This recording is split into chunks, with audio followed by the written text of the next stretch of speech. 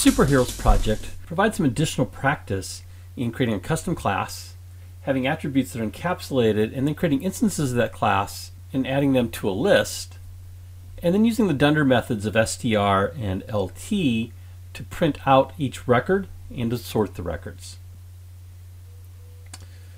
So we're going to have a superhero class that will contain the superhero's name, their real identity, and their location. And we're going to pre-code or hard code in uh, just a few instances to populate our screen. And we're going to columnize our output with the superhero real identity and location. A Sentinel menu is going to come up and we're going to allow the user to add a new superhero record, remove a record, display all the records, and they're going to be sorted A to Z, display this menu with a question mark, and of course terminate the program. Here is the init dunder method, the, the constructor for our class, and we're providing a hero name, identity, and location. So there's a screenshot of adding a superhero and the real identity and their location. And once that's done, we can display the list with choice C. And again, notice these are alphabetized by the superhero's name. If we want to remove an entry, we're going to provide the name to remove, it'll be deleted from the list.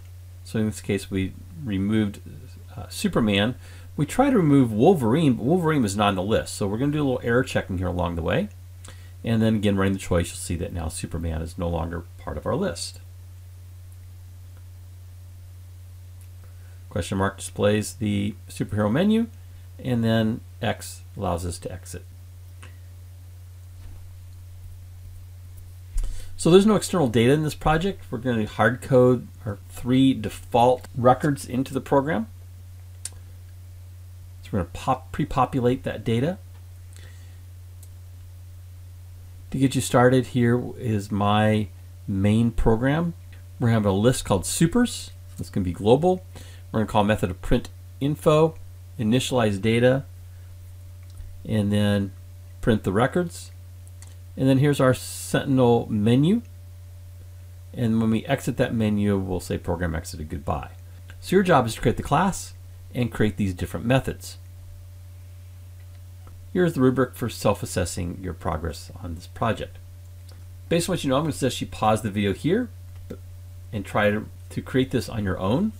Wrestle with it for a while. If you have problems, then come back and look at the remainder of this video and I'll show you my code solution. Here's my solution to the Superheroes project. I created the Superheroes class in the same file as my main program. We could create it as a separate file and import that into our main program. Both ways would work just fine. So here's my superhero class, named it superhero. Here's my initializer as a function. It's a dunder method, so two underscores init, two underscores. We always want to have self. And then my three values that I'm passing to it are hero name, identity, and location. And this doesn't be the same as the encapsulated attributes that I'm going to use. So it's self dot, again, a double underline hero name. And so this double underline, that becomes an encapsulated attribute and I can pass it then hero name. Now I could have used H, I, and L here, and that would have worked just fine as well. Doing the same thing for identity and location. That will create the instance of each superhero. Then I have some setters for each of those properties, each of those attributes. We're going to pass it a value and set the encapsulated attribute to that value for hero name, identity, and location. And then we have some getters where we're going to return what those values are. So I'm going to return the private encapsulated attribute or property to the calling statement in my main program. Now I may or may not use these in my program as a generally as a programmer by default when I'm creating encapsulated attributes or encapsulated properties I'm going to also create setters and getters to go with those. Unless I want something to be read only, then I may not have a setter. But you don't know how you're going to use this down the road, so it's helpful to have those pre-done for other uses, even if you don't use them in the current project. Here's my dunder str method. It's going to print our each record. And we're going to do this in columns. So I'm going to return the hero name, and I'm going to do a left justification of 22 spaces. I'm concatenating to that the identity, again, left justified 22 spaces, and then the location. For sorting, we're going to have a dunder method of LT with an attribute of other, and here we're simply returning the self.hero name is less than other.hero name. So minus 1 means less than, positive 1 means it's greater than, and if it's 0, it's going to be equivalent. Here's the main program that I gave you in the instructions. No changes there. To have our supers list that's going to contain all of the instances of our superheroes. So we're going to start by printing the info. So here's our print info. All it is, it's just a method call to that header information of what the program does. Then I'm going to initialize the data. So the initialized data is where I'm pre-populating our instances. So I'm going to take the global of supers and append to it, calling our superhero init of Superman, Clark Kent, Metropolis, and then Batman, Bruce Wayne, Gotham City, and Wonder Woman, Diana Prince, and Paradise Island. After it has initialized that data, we're going to print, here's a few to get you started, and print the records.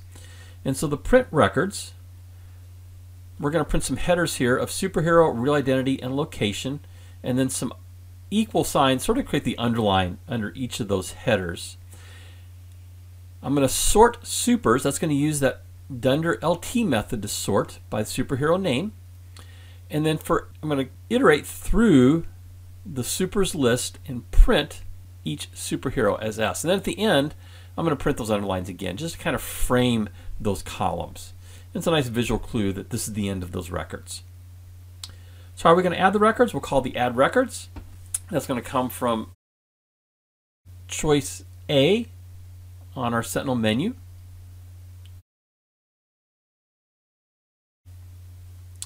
We're going to create a new super. We're going to ask them to enter the superhero, the real identity, and the home location just using input statements.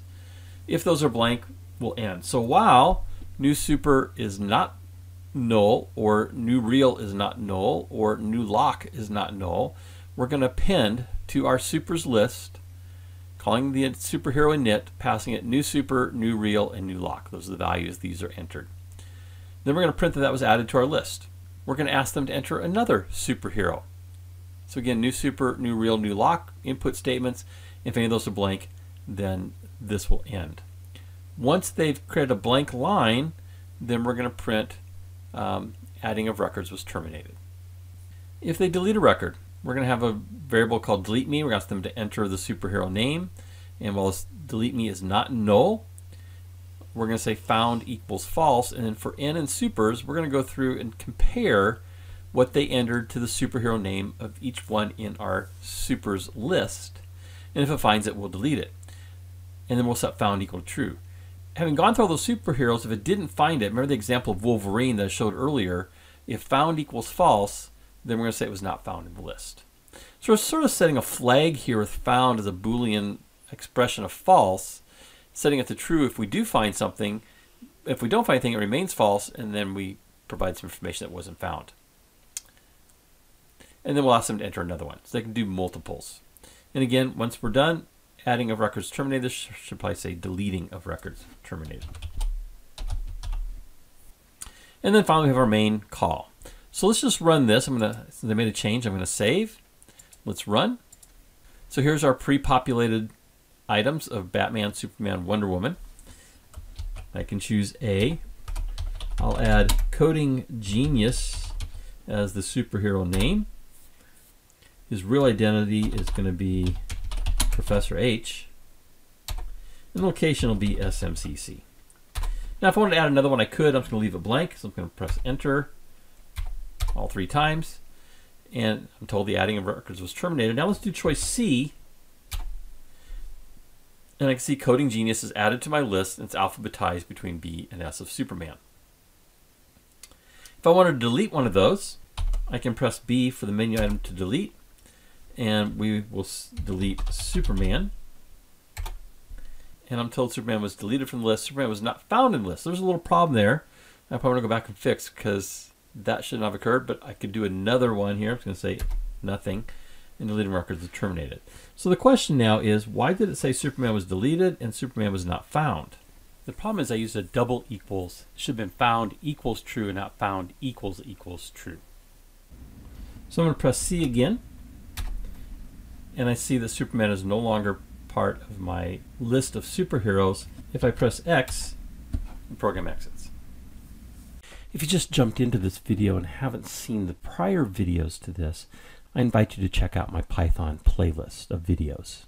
And if you'd like to be alerted to future videos that I create, you can click my picture up in the top right and subscribe to the channel.